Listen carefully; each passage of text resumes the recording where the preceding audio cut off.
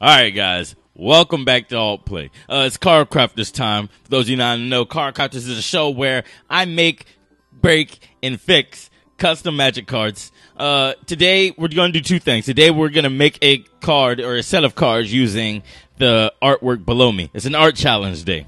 Uh, and then after we make those four cards, what we'll do is we will review a card from a previous episode. Uh, we're going to take a look at all the cards going with Death Shadow. Got a few reviews of that. That's all right. Let's focus on one thing at a time. First, let's work on a card using this card art. Uh, this art was done by Simon Pope. Uh, I believe it was called A Final Web. The Final Web. I'll have the name, the actual name, as well as a link in the description below where you can check out the artwork yourself. Okay, so let's get to making this card. All right, so as I mentioned, we're going to be using this card in the art challenge. It's actually very nice artwork. It looks really cool within a card frame. Now, like I mentioned, we'll be making four different versions of this card. We'll make four versions, one at each rarity. There's common, uncommon, rare, and mythic rare. Uh, to be honest, I'm not too sure which one I want to start with. Do I want to make a very strong card based on this art? And then go all the way down towards uh, rare, then uncommon, then common, or do I want to start at common and build up, make it make it very varied uh, as we get stronger? I think I want to start at the bottom. Let's start at the bottom. Let's make this a common. So the first version of this card we're making is a common. So let's see, what do we have? Uh, one of the things I can do is I can shape up the artwork. So this, what you're looking at now in the card frame is what's below me. It's the very full picture. But if I want, I can focus in on different parts. So that's one thing that I'll probably do uh, to make each card different. Change the artwork. Change what is the focus of the card. Like for example, right now this looks like a creature. This the way the card is shaped right now, it wants to be a creature. That's that's a given. Also looks to be some sort of wizard. So let's go with blank wizard. It's probably going to be human. And I feel like a telling feature is the ears. So maybe it's going to be human. Yeah, let's not be let's not be too funny. It's a human wizard. We see a lot of those at common. It's a human wizard. Okay, so what does this human wizard do? It looks like she's conjuring some sort of spell. She's weaving some kind of magic. I would say because of how the earth is moving around her.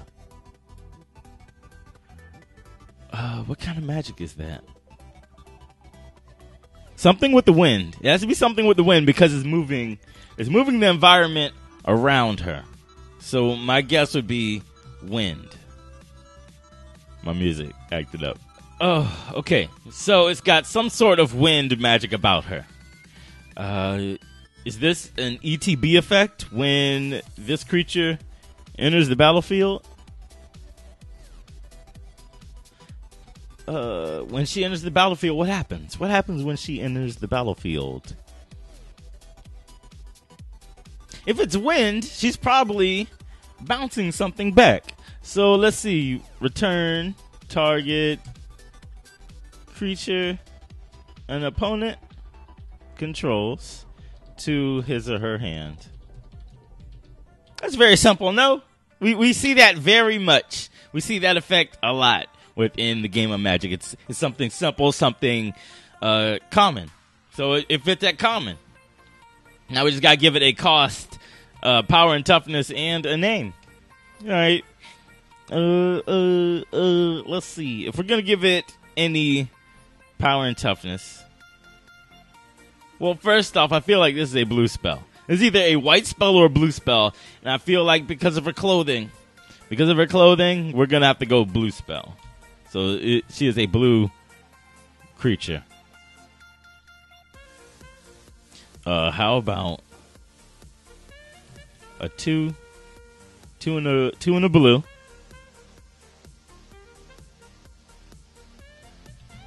a one, a one two for two in the blue. Does that sound right? I feel like that's right. Remember, blue doesn't get efficient creatures. Blue doesn't get efficient creatures. So if we look at it without an ability, If we look at it like she doesn't have any abilities, this is a one two for three. Is that? I think that's right for blue, right? I think that's right because a two two for two is typical. A two two for two is typical. All right. So we have the cost, we have the power and toughness. Now we just have we just gotta give it a name. We just gotta give it a name. Wind Weaver. Wind Weaver. Wind Weaver. Wind Weaver Mage. When Wind Weaver Mage. That doesn't exist already, does it? Let me check my database real quick. All right. Wind Weaver Mage does not exist already. We're good. All right. So that's our common. Windweaver Mage is a one-two that costs two in a uh two in a blue. Almost said two in the yellow. Uh, and when Windweaver Mage enters the battlefield, return target creature an opponent controls to his or her hand. I think that's good. I think that's good at common. Now let's step it up. We got to make it a little bit bigger, make it a little bit better. Uh, now we're gonna go with our uncommon. So, so let's see. We have our uncommon. Is this still a creature? Is this still a creature? I'm going to change the artwork just a little bit. Just a little bit. Okay, so the artwork's been changed just a tad. Let's take a look at the difference. This is Windweaver Mage's artwork. And then if we take a look at the uncommon, you can see it zoomed in a little bit more. It wants more focus on the creature and her spell. So let's see. If we're going with this one, I, I still want this to be a creature. I'm unsure when we should jump from creature to non creature, but this is a creature definitely. This is probably still a human wizard. Uh, it's probably gonna have an ETB, but it's gonna be different. It's gonna be different. An uncommon. Okay. If uh, it's still gonna have an ETB, so when this creature enters the battlefield, it does something. All right. But then we're to change. I want to change the timing a little bit. All right. So normally you can only cast creature spells on your main phase. But there's an ability that we can give it so you can cast it whenever you have priority, which means not only during the main phase, but during battle, after battle, uh, when your opponent plays a spell, things like that. So let's give it Flash. Flash makes it so that you can cast the spell anytime you can cast an instant, you know, when you have priority. Okay.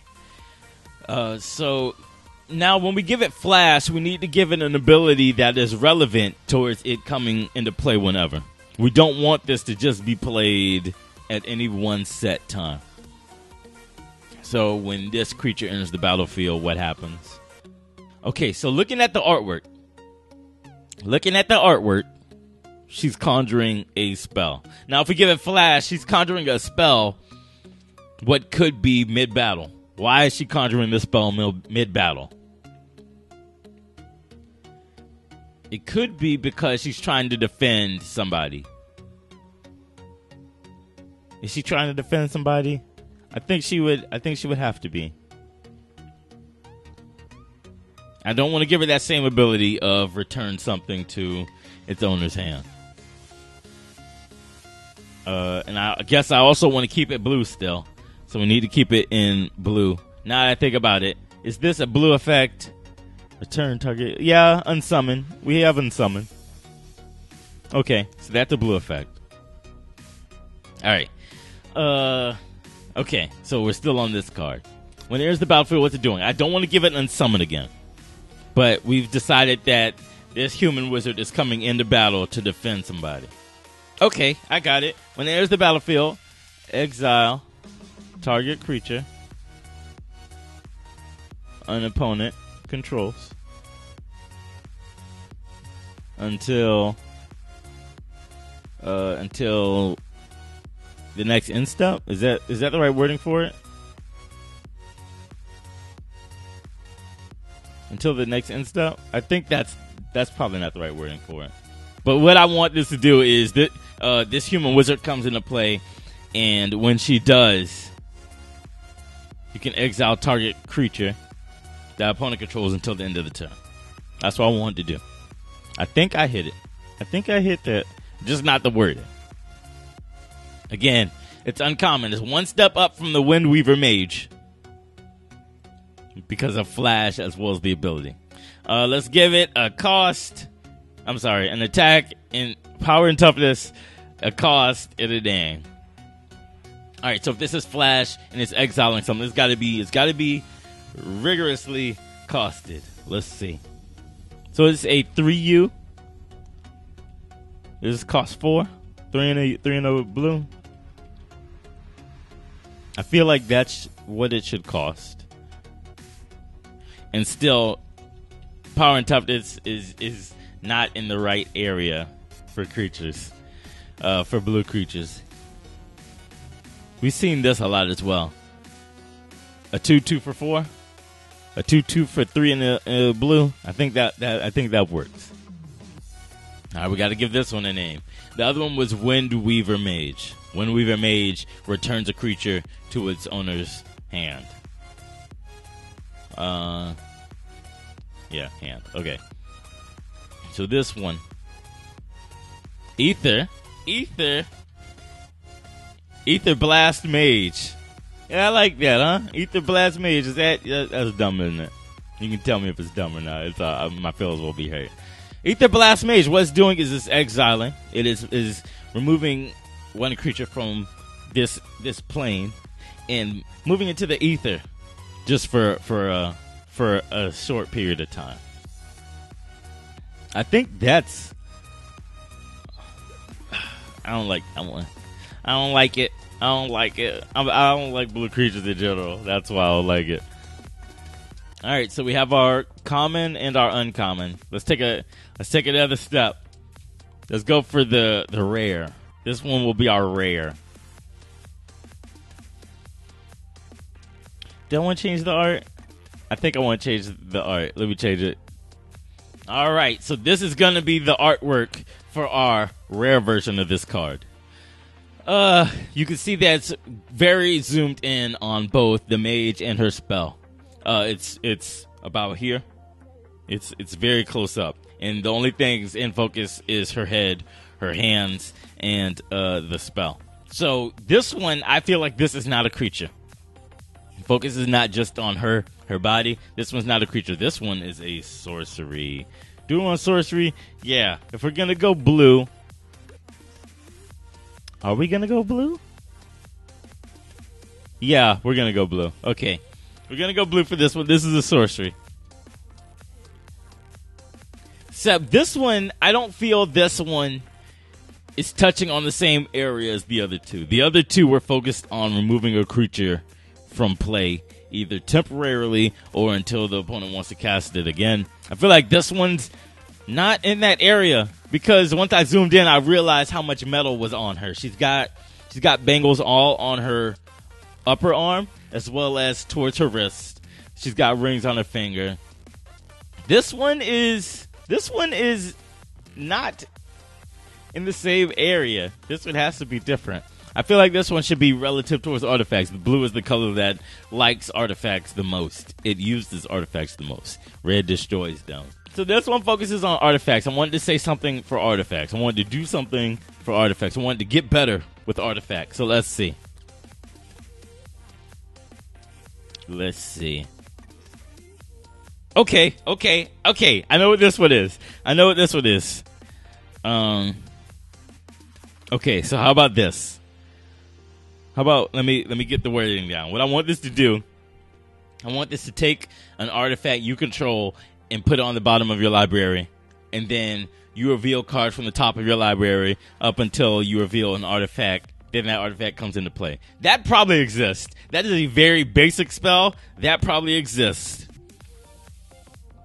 So let's turn it up a little bit. Let's turn it up a little bit. Okay, how about this? How about this? Put an artifact you oh, oh, how about this? How about put a non-token artifact you control on the bottom of your library. That way, we can't have any shenanigans where uh, players are making tokens that are artifacts, putting them on the bottom of the library, which means they won't exist, and then they're getting another artifact. We're not no shenanigans here. Put a non-token artifact you control on the bottom of your library. Reveal cards reveal cards from the top of your library. Uh, reveal cards from the top of your library until you reveal an artifact. Uh, put that artifact onto the battlefield under your control.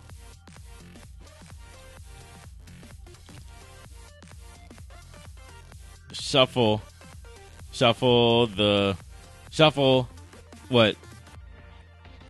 All other cards revealed this way.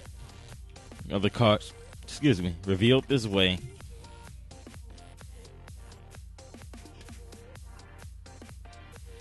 Uh, shuffle all cards revealed this way and put them.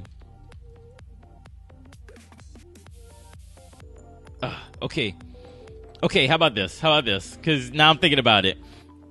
Let's say, let's say we have an artifact, any artifact. Let's say we have Sol Ring in play, and for one reason or another, I decide I want to make Sol Ring the first artifact in this in this card, uh, affected by this card. Sol Ring would go to the bottom of my library. Then we reveal cards from the top of my library. Let's say it takes me 10 cards to reveal the next artifact, which would be, I don't know, Wurm's Tooth. The next card I reveal will be, will be Wurm's Tooth. Okay, so that means I get Wurm Tooth in play. And then I have 10 more cards being shuffled to the bottom of my library. Sol Ring is not at the bottom of my library.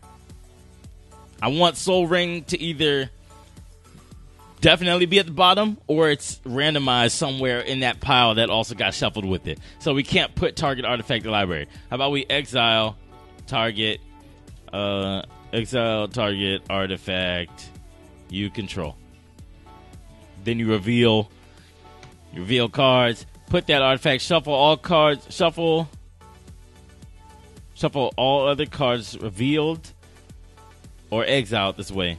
I hope that works within um I hope that works within the game's language and put them on the bottom of your library. Okay.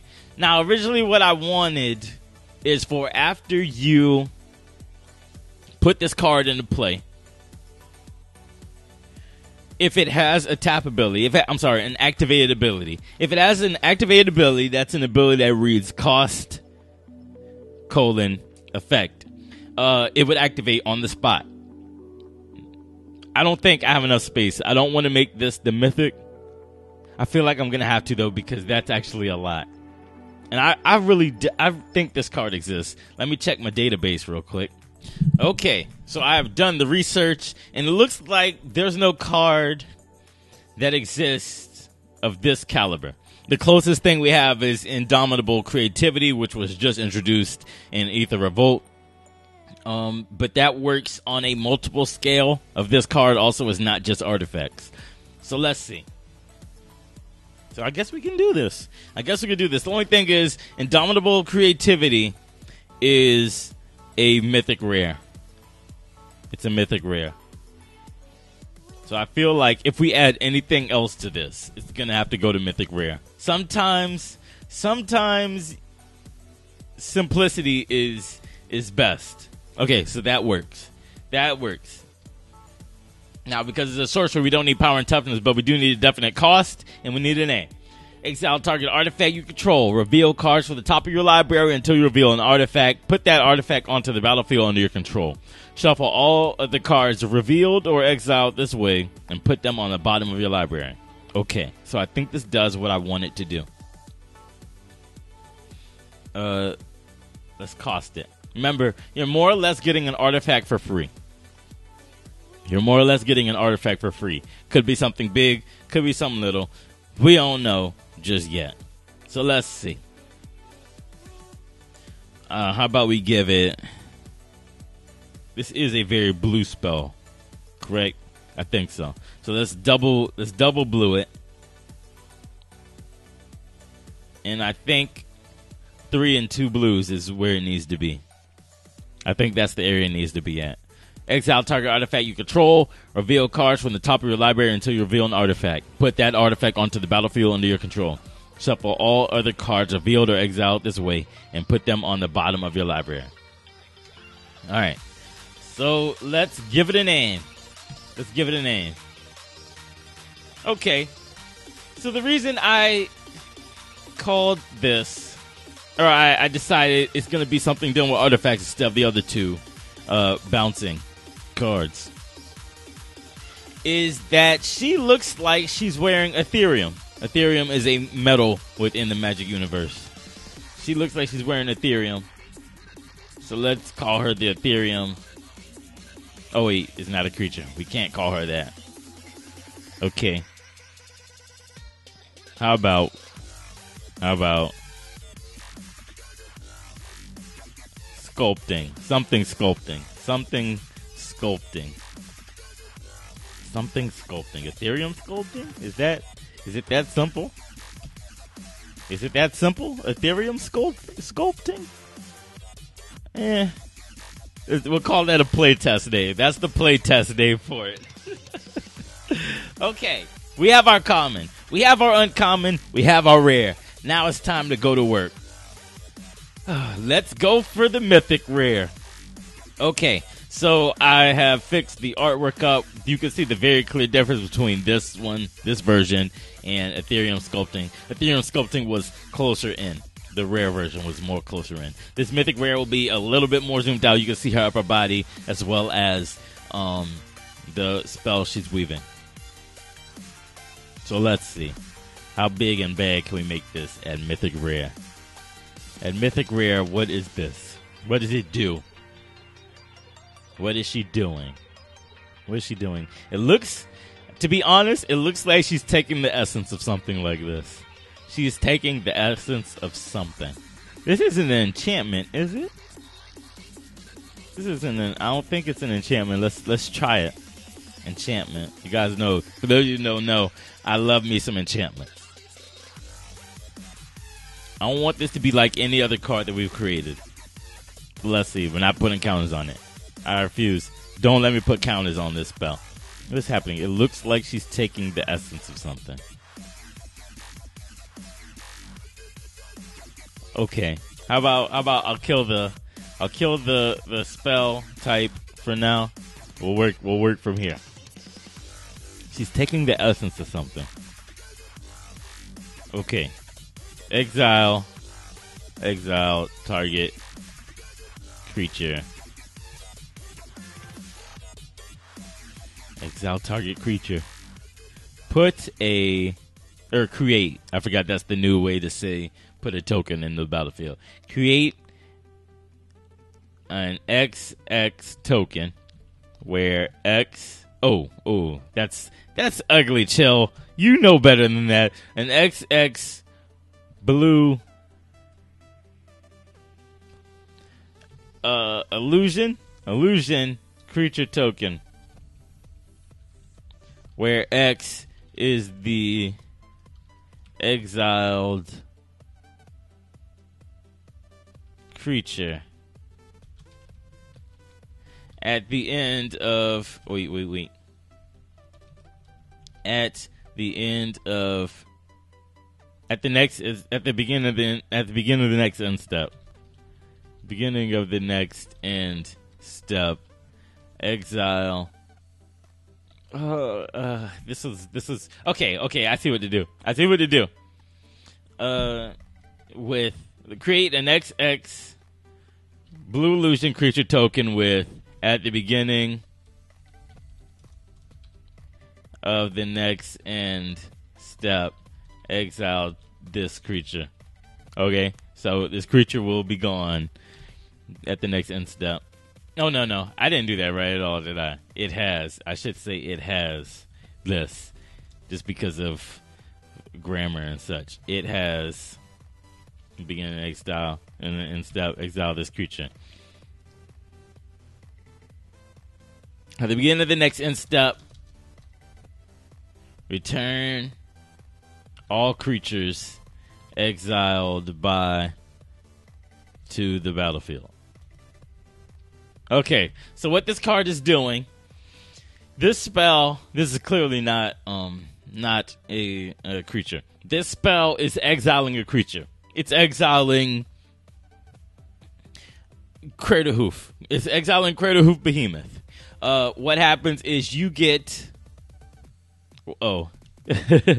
XX is the converted mana cost. Okay, you get you get a creature, you get a token, an illusion token that is an uh an XX of that creature, where X is the converted mana cost. So if we're exiling Craterhoof, Craterhoof costs what five and three greens. If we're exiling Craterhoof, then this is going to create an eight eight blue illusion creature token.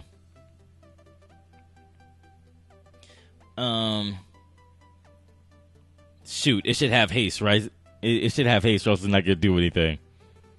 It has haste, and at the beginning, okay. So I'm getting an eight eight if I get rid of Craterhoof, whether it's mine or my opponent's. Then it's gonna get haste, and at the beginning of the next end step, it's gone. So that means it can do whatever it wants right now. It can it can go in for the swing. If I need it to block, it can block I don't know why it would be blocking, but you know, it can. It can do all the works. Then at the end of the turn, it's gone. Um, also, when this illusion leaves, you're going to get back all creatures that were exiled by this card. That way, if you somehow copy this card, then it's it's it's gonna bring back all the things that were gone by it, all things that were exiled by it. Um. Uh, let's see. We're gonna add in under its owner's control. So there's no funny business. Again, you can exile whatever creature you want. It's not restricted. Now let's see. This I'm I'm gonna guess that this has to be a sorcery just based on timing. Based on on timing. Because we don't want to do this in the middle of an attack that's kind of you should expect a combat trick, but this is not that combat trick that you should expect. Very clearly, this is a U spell. This is a blue spell. It's a double blue spell. I don't want to see anybody else cast this. I kind of want to say it. Oh, it's not really triple U. It's not triple blue. That's pushing it. That's that's a very hard spell to cast if you are mixing colors. I'm just gonna say two. Uh, this is. Is it four? I feel like this should be four and two blue. I feel like this should be four and two blue. That's really that's really doing it rough, but that's I think that's what it needs to be.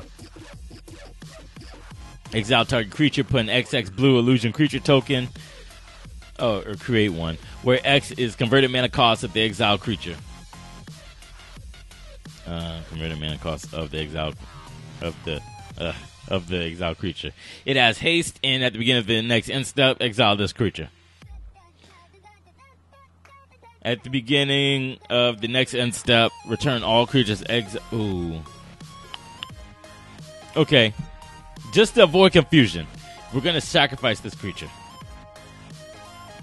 sacrifice this creature because it looks like this card that I've created here. It looks like this card is trying to make the creature exile itself, the the token creature exile itself, and then by the very second ability, bring it right back. Creatures when creature tokens leave the battlefield, they're gone for good. They stop existing. So it's not going to bring it back. So just to avoid confusion, we're going to say sacrifice this creature. At the beginning of the next end step, return all creatures exiled by this card to the battlefield under their owners. We're going to say their owners. Their owners' control. All right. I think that's solid. I think that's pretty solid. Okay. So this one is This one is Altered Reality. This is Altered Reality. That card exists. That card has to exist. Let me check my database. Doesn't exist. That is weird. It doesn't exist. Okay, so this is altered reality. Altered reality is a sorcery that costs four and two blue mana. And has two abilities. The first is exile target creature. Create an XX blue illusion creature token, where X is converted mana cost of the exiled creature. It has haste, and at the beginning of the next end step, sacrifice this creature. The second ability reads At the beginning of the next end step, return all creatures exiled by altered reality to the battlefield under their owner's control. I like it. I like it a lot. Okay, so we have four different cards, four very different cards, all based on their artwork, all created from their artwork. I believe that's called top down design. Not entirely sure. Uh, which one is you guys' favorite? Uh, at the end of the video, we'll have a section where you can respond or you can take a look at all four of them side by side and let me know which one you guys like the most. Now, as I promised, what we're going to do is we're going to look at um, some notes that I've, or some notes as well as feedback that I have received for cards that we created in the first episode of Card Crafters, cards that are associated with Death Shadow. Let's see. Okay, so we got feedback for two of the cards primarily, and we actually got a lot of positive feedback. Thank you guys on the custom magic subreddit. I'll have a link in the description below where you can check out the subreddit where I posted uh, these cards. Thank you guys for your feedback. I do appreciate it, um, and I, I will be making some changes based on your feedback. Okay, so I got feedback for two different cards. Uh, Caller was the first card. Remember, Dust Caller was the 2 1 human wizard that costs 2 and a black, and he has two abilities. At the beginning of your upkeep, you may draw a card and lose one life. And the second ability is when Caller or another creature you control dies, you may draw a card and lose one life. Okay. I had to make clauses so that you can decide whether or not you want to risk it for the biscuit this turn. But the feedback that I'm getting is that I should probably remove the may clauses because black never turns down power, you know, in the form of card draw and it's very black to take the risk of not skipping extra draws. So we're gonna go ahead and follow that one. We're going to remove the may clauses. If you have these, if you have Death's Caller out at the beginning of your turn, you have to draw an extra card and lose a life. Um, also, if a creature dies, you have to draw a card and lose a life, whether you need it or not. Uh, another bit of feedback: change when this card or another creature you control dies to whenever a non-token creature you control dies. And what was the reasoning behind that? Oh, it's it's more of a power thing. Like you don't want to be too pow- overpowered. And I can understand that. I understand that 100%. So we'll change it to whenever a non-token creature you control. Whenever a non-token creature you control dies. That's counting Death Caller, I believe. I believe that is including Caller. So when this creature dies as well. Uh, okay, so now Caller is a 2 1 for 3. I'm sorry, for 2 and a black. And he has two abilities. At the beginning of your upkeep, you draw a card and lose one life. So you're always drawing two cards and losing a life when this guy come, when this guy's in play. And whenever a non-token creature you control dies, you draw a card and lose one life. All right nice changes. I, I appreciate the changes, guys. Thank you. Also, we have Reckless Advance here. Reckless Advance is a cool card that throws everything in the air. That's that's exactly what I, I wanted to feel like, to be honest. Um, the more players you have, the more fun you can have with it.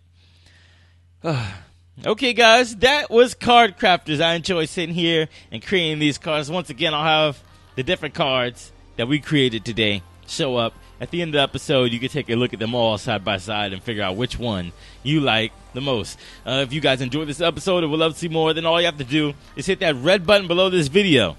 You know, the subscribe button. And I'll do my best to make sure you guys get to see more interesting shows like Card Crafters, as well as everything else that Alt Play has to offer. Thank you guys for checking this out. I'll catch you later with more here on Alt Play.